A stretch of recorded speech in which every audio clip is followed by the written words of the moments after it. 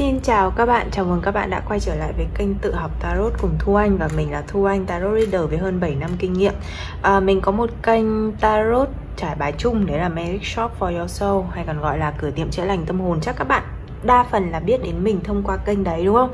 Còn nếu mà các bạn biết đến mình qua kênh này trước thì các bạn có thể ủng hộ mình bằng cách theo dõi kênh trải bài chung đấy của mình nhé Rồi, Ngoài ra bạn nào mà muốn đặt lịch xem trải bài riêng là số chiêm tinh cá nhân hoặc học tarot một kèm một với mình có thể liên hệ với mình qua fanpage tự học tarot cùng Thu Anh hoặc là fanpage chiêm tinh cổ học.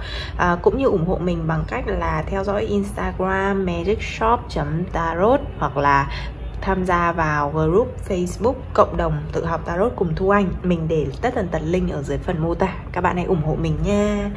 Rồi bài giảng của ngày hôm nay đó là mình tiếp tục cái series về phân tích cụ thể chi tiết từng lá. Uh-huh. Và hôm nay là bài giảng về phân tích lá số 3 em press Rồi, mình để ở đây là những cái lá mà mình đã hoàn thành. Các bạn có thể tìm bài giảng về những lá này trong video trước đây. Ok, Và mình đang làm theo thứ tự. Mình đang làm theo thứ tự, nhá. Thế nên là nếu giả sử cái video này mà ở dưới có bạn comment bình luận hỏi là chị ơi, làm chàng khờ chàng ốc chưa? thì mình sẽ cười vào mặt bạn. Ha ha rồi, bài giảng của ngày hôm nay The Empress. Mình nhắc lại một chút về cái hành trình của gã khờ. À, Thật ra mình đã làm cái hành trình gã khờ trong video tổng quan bộ ẩn chính rồi Nhưng mình nhắc qua một chút thôi. Hành trình gã khờ, gã khờ vừa sinh ra mang năng lượng của đời bé sơ sinh. Sinh ra thì có gì? Có năng lượng nam tính, nữ tính, chủ động, bị động. Rồi tư duy, ý thức chủ động, ý thức bị động, âm dương trong người. Xong bây giờ nó ra đời nó được cái gì? Đứa bé sơ sinh nhận được sự nuôi dưỡng bao bọc che chở của mẹ sự chăm sóc của mẹ. Thì thật ra ấy, khi mà bạn học lá số 3 này á mình khuyến khích là học kèm với lá số um, số 4 là số 4 là lá Emperor vua. Bởi vì mẹ The Empress nữ hoàng hay còn gọi là hay là năng lượng của mẹ. Và Emperor là hoàng đế hay là năng lượng của vua nhá. Thì hai lá này nó nên học theo cái kiểu là kẻ cột, cái bảng, hai cột giống như là lá số 1 số 2 á. Âm dương thì đây là bố và mẹ. Thế thì học cái lá này rất là đơn giản thôi các bạn ạ. Các bạn hãy nghĩ đến năng lượng của mẹ điển hình chứ không phải là mẹ của các bạn có thể mẹ của các bạn không mang năng lượng của một người mẹ điển hình nhá mình không biết mình không nói về mẹ của các bạn mà hãy nghĩ đến một người mẹ điển hình mẹ trong báo đài mẹ mẹ trong sách vở mẹ trong lý thuyết là một người như thế nào là một người rất là yêu thương chúng ta, chăm sóc chiều chuộng chúng ta và chăm sóc chiều chuộng về cái kiểu như là vỗ về, an ủi rồi nữ tính bao bọc che chở, có cái gì đấy rất là dịu dàng, hiền dịu, hiền lành.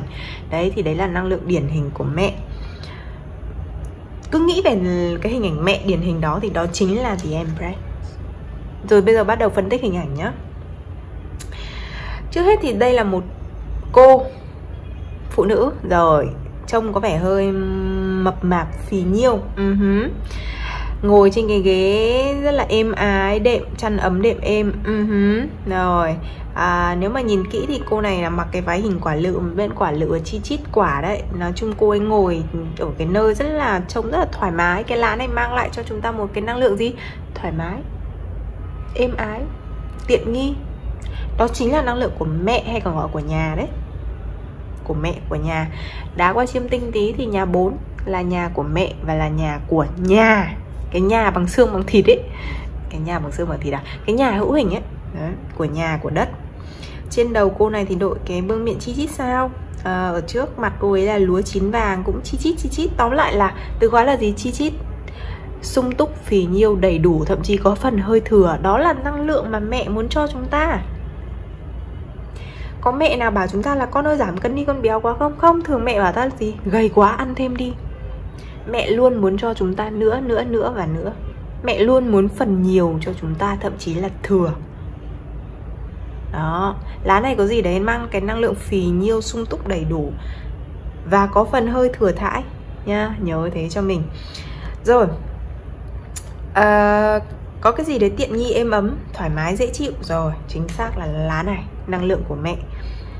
Và các bạn lưu ý cho mình là ngoài ra trong 78 lá, đây là cái lá có thể nói là duy nhất nói về việc có bầu. Em bé. Mắn đẻ. Đó, mẹ mà, có bầu. Nha. Hôn nhân. Thật ra hôn nhân nó được thể hiện qua các lá khác nữa, nhưng mà lá này chủ yếu là có bầu có thể bạn có bầu ngoài mà không hôn nhân. Đúng không? Đấy. Rồi thế bây giờ ta chốt lại cái từ khóa của cái lá này nha. Từ khóa à, nghĩa tích cực và tiêu cực. Tích cực ở đây là đấy phì nhiêu sung túc đầy đủ thoải mái dễ chịu bình yên. Uh-huh. tiện nghi êm ấm ấm áp ấm cúng. có bầu thì tùy có thể nó là tiêu cực trong một số trường hợp. Rồi uhm, đến phần tiêu cực đi. Đó là mẹ cái sự bao bọc của mẹ đem lại cái ảnh hưởng tiêu cực gì đó là đôi khi mẹ bao bọc ta quá. Nó trở thành cái vùng an toàn mà rời vòng tay mẹ là bão tố ta chả biết làm cái gì cả. Ta không thể làm được một cái gì cả khi mà không có mẹ ở cạnh bởi vì mẹ là cái kiểu người cho ta tất cả mọi thứ. Bón cơm cho ta ta ăn chùi đít cho ta bón từng miếng thuốc nhét vào mồm ta. Thành ra thiếu mẹ ta chả làm cái gì cả. Nó nói về cái năng lượng của sự bao bọc quá đà. Bao bọc thái quá chiều chuộng nuông chiều thái quá. Thì đó là nghĩa tiêu cực của lá này nhá. Ok? Ok. Rồi bây giờ đến phần um, ví dụ. Thì ý nghĩa của lá các bạn phân tích lá. Chỉ thế thôi chỉ vậy thôi, bởi vì sau này khi mà các bạn sử dụng những bộ bài tarot khác, hình ảnh khác, nó sẽ đem lại cho các bạn những cái cảm nhận khác, cảm giác khác. Về The Empress thì mỗi người sẽ có một cái cảm nhận khác nhau. Quan trọng đấy là liệu các bạn có thể nói được cái cảm nhận đấy, kéo được cái cảm nhận đấy vào trải bài hay không nhá. Rồi, bây giờ đến à, phần ví dụ. Ví dụ đầu tiên miêu tả một người đó miêu tả y hệt như mình vừa nói người này mang năng lượng của người mẹ chăm sóc vỗ về bla bla. Rồi nhưng bây giờ nhá. Cái lá này nó có năng lượng của sự gì? Nữ tính mình đồng ý. Và bạn nhớ cho mình cái lá mà chúng ta vừa học qua bài giảng lần trước, bài giảng ngay hôm trước. Vì em à nhầm Hybritis nữ tư tế cũng là nữ tính. Thế hai cái cô này nữ cùng là nữ tính nhưng mà cái nữ tính của hai cô này giống và khác gì nhau. Thật ra thì giống là đều là nữ tính thôi nhưng mà cái cách thể hiện nó khác nhau này. Nhìn cho mình này chú ý cho mình này. Nữ tính của The Empress à nữ tính của Hybritis của nữ tư tế là số 2 á, là cái nữ tính ở bên trong.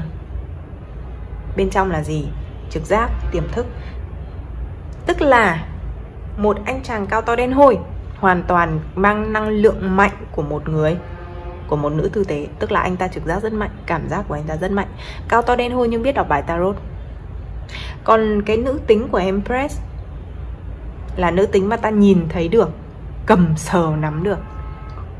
Yeah. nó là một cái người có thể là rất là giỏi, chăm sóc người khác, thích chăm sóc người khác và bản thân họ cũng có một cái ngoại hình hơi điệu đàng nữ tính một tí. Dù họ là đàn ông có thể họ rất là hay chăm chút ngoại hình nhá. Nhìn thấy được phô trương ra được bạn lộ lộ ra được cái cái vẻ ngoài nữ tính của người này. Trong khi hybridis là cái nữ tính ở bên trong nhá. Ok chưa nào? Ok. Đó, thì đó là mình so sánh nhẹ một sự so sánh nhẹ giữa hai cái lá này trong phần miêu tả một người ok? Rồi lại miêu tả cái cô này à, cái người này mang năng lượng của The Empress đấy mang năng lượng của người mẹ chăm giỏi chăm sóc người khác rất là giỏi những cái đúng kiểu giỏi nội trợ ấy. Giỏi nội trợ giỏi làm vợ giỏi làm mẹ. Dù họ là đàn ông họ vẫn có thể có những cái đặc tính này có sao đâu.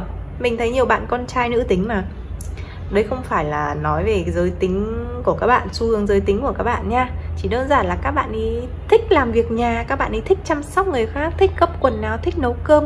Không vấn đề gì cả và các bạn vẫn vẫn lấy vợ như bình thường.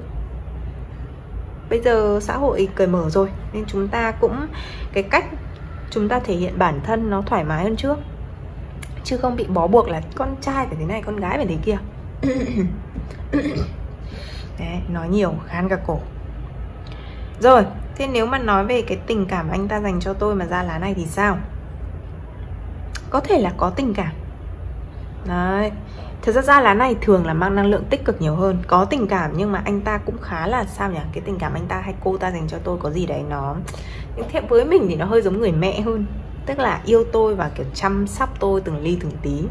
Đấy thì thật ra cái sự chăm sóc đó nó bị tiêu cực hay nó nó là cái chăm sóc tích cực và biết dừng đúng lúc đúng chỗ thì ta phải xem kết hợp với những cái lá khác nhá. Rồi um, cái mối quan hệ này đang cãi nhau nhiều? Hai người cãi nhau nhiều bạn hỏi có nên chia tay không mà ra lá này. Phần lớn là không. Phần lớn là không nhá. Đấy. dĩ nhiên là vẫn phải kết hợp với cả cả bộ bài. Nhưng mà nếu mà đôi khi câu hỏi yes hay no á, với mình thì mình thường rút một lá để xem là cái năng lượng đầu tiên, cái năng lượng đầu tiên của cái lá mình rút ra nó tích cực hay tiêu cực. Tích cực là là là là là nó, thì câu trả lời sẽ là tích cực. Đấy. Ta trong trường hợp có nên chia tay không? Mà ra lá này thì thường là thiên về phần tích cực là không chia tay. Nha, không chia tay mà có thể là hai người thương nhau quá, hai người chăm sóc nhau quá thành ra bị để ý tiểu tiết ừ, đó. Nên hai người cần phải bớt cái năng lượng gọi là của người mẹ này lại. Đây là tình yêu chứ không phải là tình cảm mẹ con. Đấy. còn nếu là mối quan hệ cãi nhau và chỉ đơn giản là xin lời khuyên thì có thể mình cũng sẽ nói như thế. Hai người bớt bớt lại giãn ra một chút cho nhau không gian, thời gian để thở. Chứ có thể đang có xu hướng một người cứ kiểu, cho đi, cho cho cho đây, tiền đây, cầm đi đây, em chăm sóc anh đây, này đây đây đây đây cơ một đây cầm lấy, thành ra khiến cho người kia ngột ngạt ngạt thở. Ok chưa nào? Ừ. nói chung phải kết hợp nhiều lá khác. Mình cứ giả sử nếu nó ra một mình thì sao ha? Trong à lá này mà trong trả bài về tài chính thì rất tốt nhá. Bởi nó là gì? Nó sự sung túc phì nhiêu đầy đủ ra trải bài về tài chính. Ví dụ như là tiền của tôi trong tháng này thế nào thì ôi giời nhiều tiền lắm. Không phải kiểu vừa đủ đâu mà nhiều theo kiểu thừa ấy. Lá này là có cái gì đấy nó hơi thừa các bạn ạ. Phải nhớ như thế. Nó không chỉ đủ mà nó là thừa nữa. Nhá. Đấy à, nhìn trong cô ấy cũng hơi thừa cân mà với cả cô ý đâu nhất thiết phải đội một cái vương miện nhiều sao thế này. Kiểu thế nhá, có gì đây hơi thừa. Mẹ mà, mẹ lúc nào chẳng muốn nữa nữa nữa. Gì nhầm trong trả bài về công việc đi. Bạn hỏi là trong thời gian tới tìm được việc không? Mà ra lá này thì có, mà và công việc ấy còn đem lại cho bạn thì cái gì? Nhiều tiền hoặc là trong cái môi trường làm việc đó, năng lượng nữ nhiều. Bạn ấy làm công việc, có thể là công việc dịch vụ à? Spa làm đẹp hoặc là y tá điều dưỡng viên uh, hoặc là buôn bán dịch vụ dịch vụ. Có cái gì đấy liên quan đến sự chăm sóc người khác. Đấy là tính chất công việc hoặc là mình cảm nhận được đấy là công việc của bạn ấy nhiều tiền hoặc là sếp của bạn ấy hay là trong môi trường này toàn nữ. Nhưng mà các nữ nhân mà mang cái năng lượng The empress mà trong môi trường làm việc thì mình nghĩ là nó sẽ là một môi trường tốt. Ừ. Uh-huh. đấy còn nếu bây giờ câu hỏi là chung chung thôi công việc không có gì đáng để nói. À, bạn làm văn phòng bình thường mọi thứ đang rất êm ấm mà bạn hỏi thời gian tới công việc mà có gì biến chuyển gì không mà ra mỗi lá này thì có thể là trong công việc sắp tới sẽ có lộc có nhiều dự án hơn để làm và sẽ có nhiều tiền hơn nha. Ừ. nói chung là mỗi lá nó sẽ có nhiều lớp ý nghĩa. Và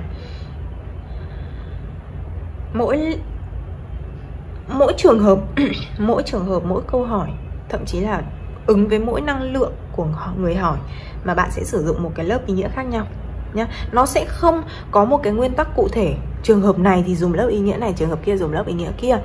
Uh, cá nhân mình thì khuyên các bạn là hãy có nguyên tắc của riêng bạn cơ. Nguyên tắc của riêng bạn chứ đừng có áp dụng nguyên tắc của ai kể cả nguyên tắc của mình nhá kể cả nguyên tắc của mình. Và mình, thật ra mình cũng không có chỉ cho các bạn hay dạy các bạn cái nguyên tắc nào đâu. Mình chỉ nói những cái thứ, cái hiểu biết chung chung, những cái hiểu biết nó sơ sài nhất để các bạn làm quen hơn với bài tarot thôi. Đó, thì đó là lá The Empress. Cá nhân mình thấy lá này là một cái lá dễ diễn giải. Dễ diễn giải khi nó ở trong một cái trải bài còn cái lá mà nó mang cái năng lượng, nó hơi u ám hay là nó hơi trung lập một chút như lá nữ tư tế á, thường là cái lá nó khó diễn giải. Đấy, nhá. Nhưng mà thường cái bộ à, ẩn chính mình thấy là nó khó diễn giải hơn bộ ẩn phụ. Ý nghĩa nó trừu tượng hơn một chút và nó có nhiều lý thuyết hơn. Còn ẩn phụ thì mình thấy một số bạn là bạn ấy nhìn hình ảnh ẩn phụ là các bạn nói được, chứ không nhất thiết là phải học lý thuyết nhưng mà tùy từng bộ bộ này còn dễ nhìn chứ một số bộ trừu tượng các chịu chết đấy. Rồi thì đấy là phần uh, mình sẽ kết thúc bài giảng của Empress tại đây. Cảm ơn các bạn đã ủng hộ và lắng nghe. À, chúc các bạn có một buổi tối vui, vui vẻ và đừng quên ủng hộ mình bằng cách theo dõi kênh hai kênh của mình hai fanpage của mình một insta của mình một group của mình nhá. Mình làm hơi nhiều. Ok bye bye các bạn.